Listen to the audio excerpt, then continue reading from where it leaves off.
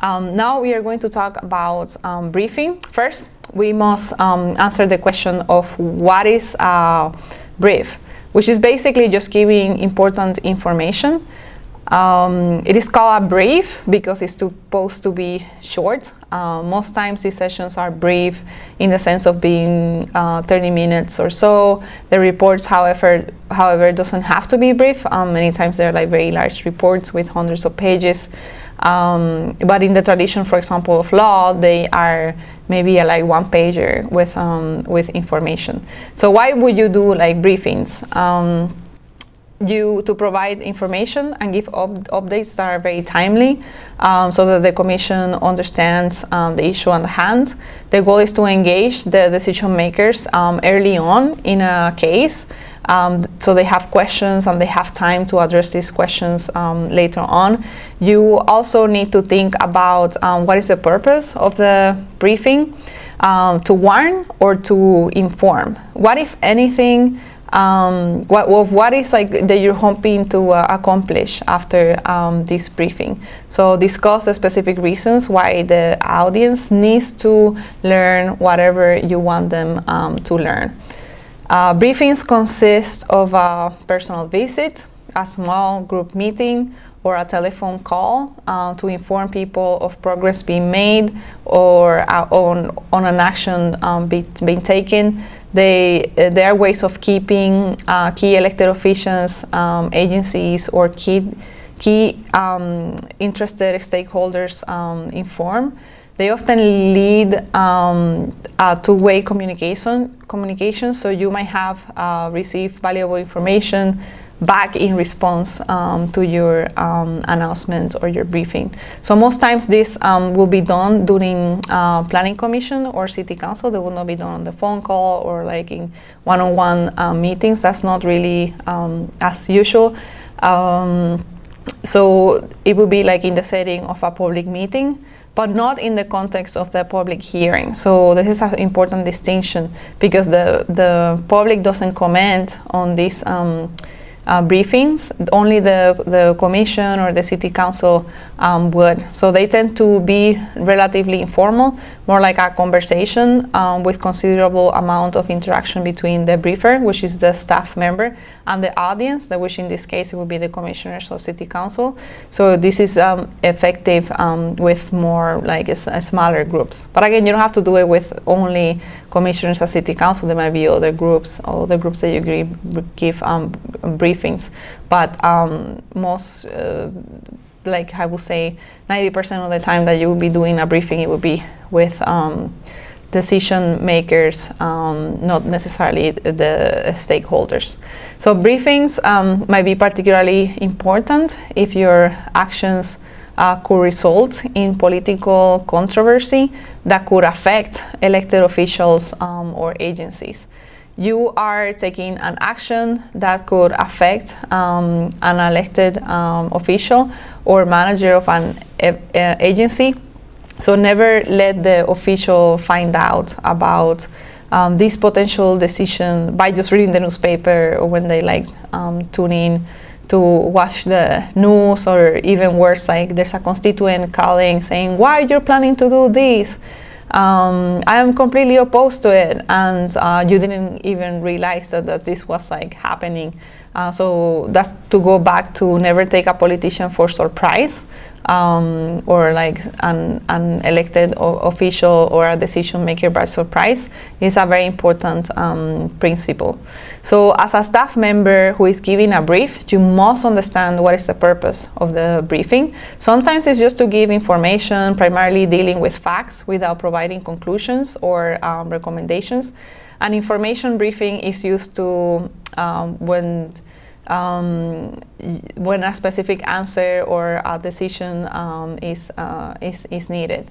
So when possible, take along a document or a publication that provides the same information you are presenting in the briefing. Um, and even if you have a large report, I would recommend you to create something that is very short so people can like read it um, quickly with the most important facts. So you will give this to elected officials or senior managers, and you can um, give something that they can pass along to others um, in their staff. remember that like for a lot of um, elected officials, they don't necessarily read the whole documents. Uh, maybe they have an aide that will do that and summarize those things for them. And uh, something that really good that you can do is like summarize those points um, ahead of ahead of time um, in a more like executive summary of a large report or just like a brief of like one one page so they can have those um, uh, main points and they can save um, time. So the four, the, uh, actually there's like four briefing steps and they are to plan. So it's analyze the situation, prepare um, an outline, um, then is to prepare, which is in construct the briefing, um, and this could be in speech and in written form. Um, execute is like to actually like deliver this um, briefing that it might happen in a formal meeting or a more informal um, setting or on a one-on-one uh, call, and then you execute. I, am sorry, we already talked about execute, and then we assess, which is like just like follow up. Um, because the idea of a briefing is also there's a, again the two-way communication back and forward. So the decision maker will tell you, well, have you looked into this? Have you investigated X? Um, what about that other like zoning ordinance? Um, how it relates to this?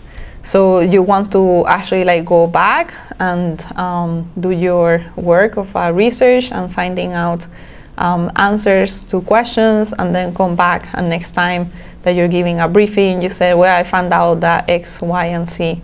Um, and uh, so that's kind of like part of the, of the, of the briefing is like you're not getting into the final recommendation document but you are um, asking questions and you are also just like providing um, information um, to the decision maker or, or stakeholder in, in some occasions. Um, in the next slides, we will show two examples um, from Salt Lake City Council and the Planning Commission.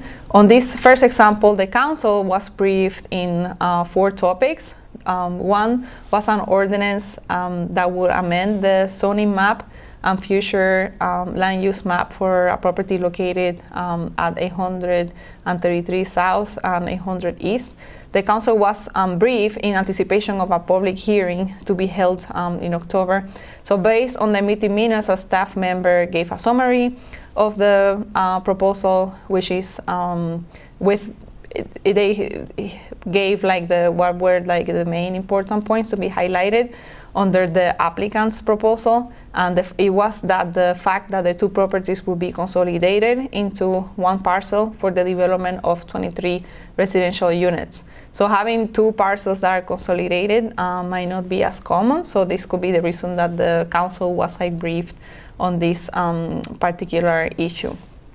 Uh, the council also was briefed um, about a resolution that will approve an interlocal agreement um, with the redevelopment agency or RDA for the diversion of property tax for the State Street um, community uh, reinvestment project area. So the importance of this briefing was clearly uh, stated by a staff member that said that the resolution will that if, if it's approved, it will be an interlocal agreement with the RDA uh, for the diversion of property for the Nine Line Community Reinvestment um, Project area. This has to do with like important decisions in finances, so that's probably why the council was um, briefed on this.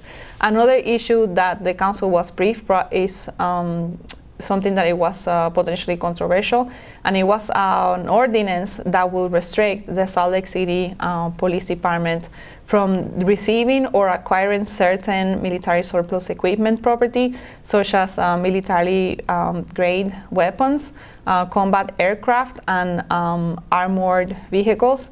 The council was told um, that there would be a vote in the future um, they didn't were not a specific um, date on, on this, just simply at a later date, and that they can expect this issue to be um, controversial. And finally, the last briefing was about uh, changes to the city demolitions um, ordinance. Uh, the proposed changes are intended to streamline the process uh, for demolitions on commercial and also residential um, properties to remove the requirements uh, for um, having to, like if you demolish a property, to having to replace that um, property. Um, then also a landscape plan and bond, and to provide clarity on the enforcement process for um, buildings that are vacant but they're like boarded um, up um, as, as stated in the public nuisance ordinance. So changes also include enhancements um, to the tools to legally declare buildings um, a public nuisance. A public hearing, it is planned on October, so the council was told when that will be uh, scheduled. And this issue is of great impact to the city as a whole, um, and it's a citywide ordinance, and this is probably why the council was briefed um, on this, like it's important enough. Uh, as you can see um, from above, these items were briefed because they were of wide impact, um, they were possibly controversial, or they were outside um, of the norm. As a staff planner, it is important that you communicate why you're briefing the council. Is there a meeting coming up that is likely to draw a lot of attention from the media or um, maybe the decision is very controversial. Maybe this decision um, that will be, be, be taken in the future, it has like wide legislative or monetarily uh, financial impacts in the city. So the more direct you are about why you're briefing the council, um, the better. Uh, next, we are going to look at an example that is not from City Council, but of the Planning Commission here in Salt Lake City. I found an agenda that had um, some briefing. Um, please note that not all agendas um, have um, briefings, and this will be part of your um, discussion in the assignment to find some agendas and to see what were the items that people were briefed and speculate of why um, uh, the Planning Commission was briefed um, on this. So here we're looking at a meeting of um, September 25th. There were two briefings, and these are under the work session of the Planning Commission agenda, which is at the very end um, of the agenda. What I want you to notice here is that the first one in the front page, when you look in the website, it reads um, briefing of the hand um, consolidate master plan. But the off-street parking chapter ordinance revision was also a briefing, but it was like really noticed as, um, as a briefing. Um, it is noted, however, in the minutes themselves. So what matters here is like for the, the for your purposes is that the work session um, pretty much, which is always at the end, um, after most people have um, already like uh, the developers have come, people have given the, been in the public hearing, gave their comments, um, and then the planning commission will um, stay. The public is welcome to stay, but most times the public doesn't stay for these like work sessions because it's not a public hearing, so there's nothing that they can actually like ask or or say. Um, so most times it's more like a, again title like a work session in where the uh, commissioners and the staff will go back and forward on a briefing on a particular issue and this will happen rather quickly so uh, again maybe expect 20 30 minutes um, even sometimes less um, although sometimes it could be a little more but that's kind of like on average.